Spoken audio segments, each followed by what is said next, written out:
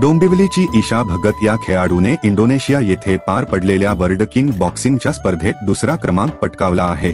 आतापर्यंतच्या प्रवासात तिने एकूण एकशे बासष्ट पदके दोनशे पेक्षा अधिक प्रमाणपत्र आणि वीसपेक्षा अधिक ट्रॉफी मिळविल्या आहे ईशा भगत हिने केवळ डोंबिवलीचे नाव महाराष्ट्र आणि देशभरात नव्हे तर जगभरात उंचावले आहे. पुढील स्पर्धेत भारताला सुवर्ण पदक जिंकून द्याव्याचा ध्यास मनाशी बाळगला असल्याचे तिने आपले शहरशी बोलताना सांगितले. खूप छान एक्सपिरियन्स होता. तिथे जाऊन खेळणं आपल्या देशासाठी परफॉर्म करणं खूप छान वाटलं. माझं ध्येय गोल्डसाठीच होतं पण काही कारणांमुळे ते नाही जमलं. पुढच्या टायमाला नक्कीच मी देशासाठी गोल्ड मेडल परत आणेन. आणि माझं पुढचं गोल ऑलिम्पिक्सच आहे. पहिली गोष्ट तर खूप सारे सॅक्रिफायसेस करायला लागतात. फॅमिली फंक्शन्स वगैरे वगैरे म्हणजे खूप जे फन एलिमेंट्स असतात ते नाही अटेंड करता येत तुम्हाला. आणि तुम्हाला तुमच्या कोचचं तुमच्या पॅरेंट्सचं ऐकलं तर अजून पुढे जाल.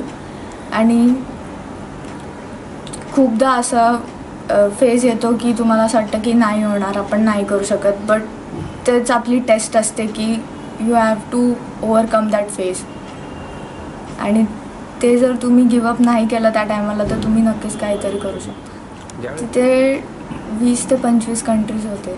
या भारत देशासाठी अजून खूप सारे मेडल्स आणायचे आहे आणि मेन म्हणजे ऑलिम्पिक्ससाठी ऑलिम्पिक्समधून भारत देशासाठी गोल्ड मेडल आणायचं आहे. बॉक्सिंग स्पर्धेच्या तयारीसाठी तिने खूप मेहनत केली होती. एकच वेळ जेवत असे.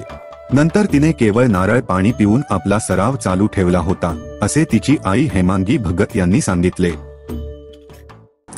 मला खूप आनंद झालेला आहे. माझ्या मुलीने इथपर्यंत पोचलेली आहे. तिने खूप मेहनत केलेली आहे. जवळजवळ पाच सहा महिन्यापासून तिचा डाएट चालू होता.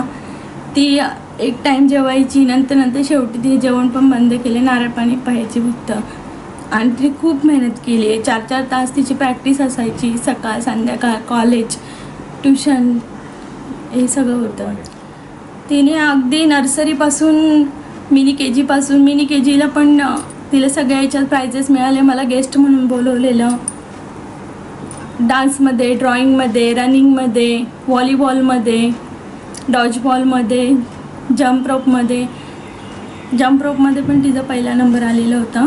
सर्वोत्कृष्ट खेळाडू म्हणून. सोलापुरात तिचा सत्कार झालेला माझी मुलगी म्हणजे मी माझा मुलगाच समजते.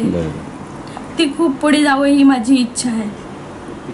तिला? पुढे ऑलिम्पिकला जायचं आहे त्यासाठी ती लागेल ते कष्ट करायला तयार आहे. आपल्या देशातून ती लढावी अशी तुमची पण इच्छा आहे. खूप खूप इच्छा आहे खूप. तिने ज्या प्रकल्पपणे वेगवेगळ्या स्पर्धेत भाग घेतलेला आहे तर तिने कोणत्या स्पर्धेत तिने ऑलिम्पिकमध्ये भाग घ्यावा असं तुम्हाला वाटतं? ती आहे- कराटेमधून जास्त पुढे जाऊ शकते. ईशा ही डोंबिवलीतील श्याम श्रीवास्तव यांच्या अर्बन आखाडा अकादमी येथे प्रशिक्षण घेत आहे. विशेष म्हणजे आगरी कोळी समाजातील मुली पुढे जात असून ईशा ही सर्वांसाठी प्रेरणेचा स्रोत आहे असे तिचे मामा विशाल पाटील यांनी सांगितले. खर खरं तर ही आमच्या आगरी कोळी समाजाची मुलगी आहे ईशा भगत. मुलगी सात वाजले की घरी येते पण खरं तर मुलींना पण एक प्रावीण्य दिलं पाहिजे खेळण्यासाठी किंवा तिच्या आई वडिलांनी आज मला खूप अभिमान वाटते की माझी भाची वर्ल्ड किक बॉक्सिंगमध्ये जगात दुसऱ्या क्रमांकावरती आली. आणि पुढे पण तिने ऑलिम्पिकमध्ये गोल्ड मेडल आणावं एवढी मला विश्वास आहे तिच्यावरती की ती आणू शकेल.